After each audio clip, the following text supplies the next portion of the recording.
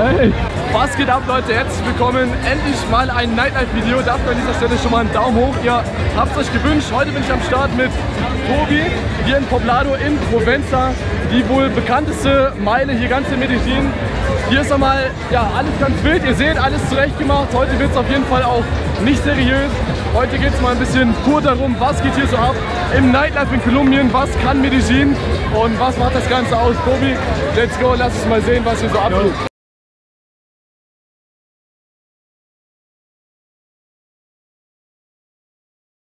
Also hier kann man auf jeden Fall sagen, ist so mehr oder weniger die High Society unterwegs. Alle sind top zurechtgemacht. Und ja, hier sieht man mal, sag ich mal, in dem Sinne, was Kolumbien zu bieten hat, wie schön die Frauen halt wirklich sind.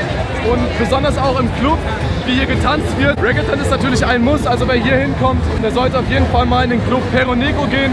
Das ist der bekannteste Club, der Nummer 1 Club hier. 20, 22 Uhr, 22, 30 auf jeden Fall immer schon voll. Wer Bock auf Elektronik hat, sollte in den Club Salon Amador gehen.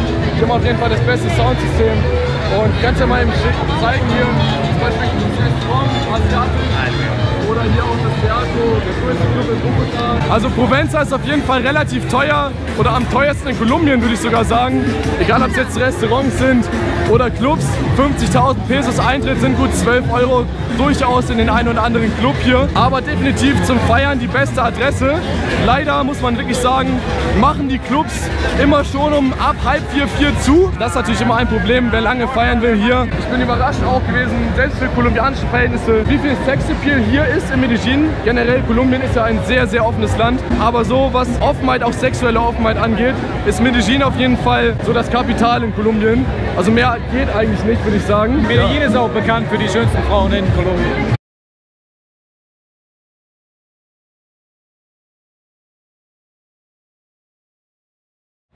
Ja, ich zeige euch jetzt quasi nochmal die zweite Straße. Hier gibt es ganz viele Parallelstraßen, überall sind Clubs und Bars, also hier ist echt alles voll. Ist auf jeden Fall sicher, nur abends so ab ja, Mitternacht halt, die ganzen dunklen Seitenstraßen muss man halt ein bisschen aufpassen, ähm, besonders auf Motorräder. Aber alles halb so wild im Endeffekt, wenn man sich einfach nicht so ganz äh, dumm verhält. Das hier vorne ist übrigens, also der Liquid Store hier, den ihr hier seht, ähm, das ist so eine der billigen Ketten, wo man äh, billig Alkohol kriegt. also da kriegt man auf jeden Fall billig Alkohol. Hier saufen sich relativ preiswert voll. Ist immer so typisch kolumbianisch. Man sitzt halt hier auf dem Tisch, haut sich so 20 Bierflaschen rein und trinkt und trinkt und trinkt quasi, bis einer umfällt. Ähm, das sieht man besonders auf der La Satenta in Laureles, zweite Party Street. Sehr local, sehr laut und da ist überwiegend ja, traditionelle Salsa-Musik, wie auch einfach Tische und besinnungsloses Besaufen.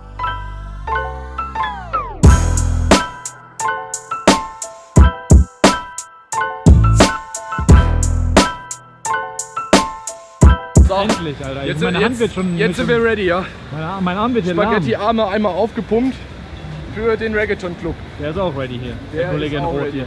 So ein bisschen das Gefühl habe ich, dass hier in Poblado ein bisschen mehr Englisch vorhanden ist. Ja, also viele, die hier sind, weil es hier so ein bisschen High-Class ist, können schon Englisch. 70% der Touristen hier sind, glaube ich, Amerikaner.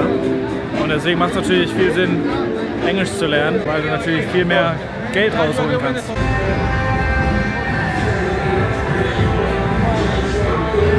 Nochmal so als Tipp auch, woran ihr erkennt, ähm, wer prostituiert ist und wer nicht. Wenn ihr in die Augen schaut und sie nicht wegschaut, dann ist sie auf jeden Fall, ja, eine, die für eine, eine Entlohnung arbeitet. Das Gute an Kolumbien ist, äh, durch die Gefahr hält es natürlich viele Leute davon ab, hier hinzukommen. Und dadurch hast du hier nicht so viele alte Leute, die halt den Sextourismus unterstützen, weil die halt Schiss haben, hierher zu kommen. Generell auch so was so Backpacker angeht oder allgemein Reisende, du hast hier schon so einen Filter drauf, auch in Zentralamerika. Irgendwie nur die coolen Leute schaffen es halt hier hin. So. Du hast halt nicht so die typischen Abi-Abgänger 18, 19 wie in Asien. Du hast hier eher so ein bisschen die erfahrenen oder die rougherin ähm, Reisenden, was halt eigentlich ganz cool ist. Kolumbien ist auch nicht für Anfänger, muss man so sagen. Also ja. Brasilien, Kolumbien sind nicht für Anfänger.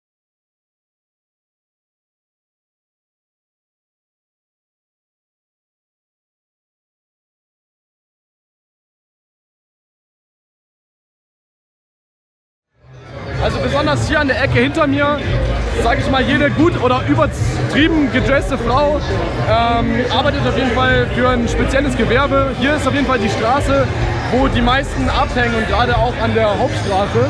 Ja, ich habe auf jeden Fall mal leicht äh, mitbekommen, wie ein, sagen wir mal, älterer Herr, so, so einer von der Weirdo-Generation, so ein bisschen angeflirtet wurde von gleich drei Prostituierten. Es hat 15 Minuten oder keine 15 Minuten gedauert, dann war das Portemonnaie auf einmal weg und er so, oh, ja, ja, und zack, quasi waren die anderen äh, verschwunden. Ja, Gerüchten zufolge wird ja auch, habe ich zumindest so gehört, die eine oder andere Substanz in Kolumbien konsumiert. Der Preis pro Gramm nicht ungefähr kann ab bei 2 Euro liegen, kann aber auch für 4, 5 Euro dir an die Haustür gefahren werden mit einem Private Service. Ähm, keine Ahnung, was genau so die Straßenpreise hier in Poblado sind. Hier macht es auf jeden Fall keinen Sinn. Ähm, aber es ist auf jeden Fall geisteskrank, wenn man mal überlegt, dass der Preis in Deutschland, was kostet das Zeug? 80, 90, 100 Euro in Deutschland. Ja, 100 Euro. Also das ist einfach schon pervers, wenn man sich das mal überlegt. Dementsprechend wird das Ganze natürlich auch angenommen von Touristen, aber auch von Kolumbianern in der Partyszene. Generell muss man aber nochmal sagen, ich sag mal, ihr wisst ja alle, wo es sich drum handelt. Ähm, auf jeden Fall relativ respektlos, das im, im, Beisein von Kolumbianern zu erwähnen, also im normalen Alltag, in normalen Gesprächen. Ähm, versucht das auf jeden Fall zu vermeiden, weil die Geschichte und die Probleme dieses Landes halt immer noch so ein bisschen halt daherkommen. Ja. Hey!